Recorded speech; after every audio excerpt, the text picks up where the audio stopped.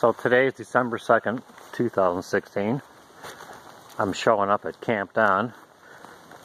Just got to run my Glock 21 and Glock 19 through a couple of uh, exercises, make sure they're good for our shooting camp, which we're going to actually starting Monday morning at Front Sight in Nevada.